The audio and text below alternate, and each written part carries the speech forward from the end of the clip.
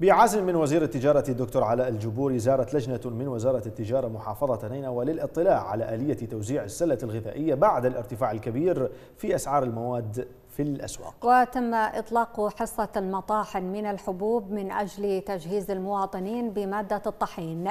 فيما تم التوجيه بتوزيع مادة الزيت والطحين أولا على سكان الأحياء الفقيرة في المحافظة.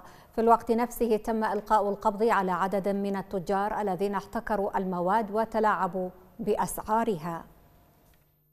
إحنا وجهنا آه، كوادر الرقابة اللي موجودة في محافظة نينوى وجهنا أيضا آه، فرعنا التمويني في محافظة نينوى. اليوم أي وكيل يتلاعب بمفردات البطاقة التموينية راح تكون تتخذ بحقه إجراءات رادعة.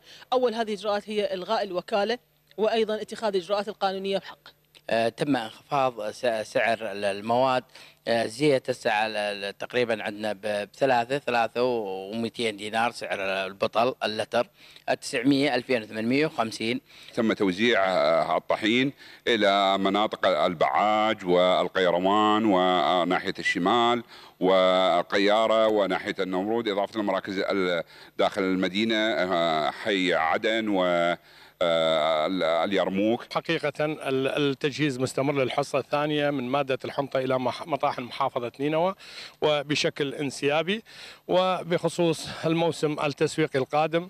طبعا آه، توجيهات آه، معالي الوزير بلقاء مجموعة من الفلاحين محافظة نينوى وكذلك الجمعيات الفلاحية ومعرفة رغباتهم ومدى رغبتهم في التسويق لدى السالوات في الموسم القادم.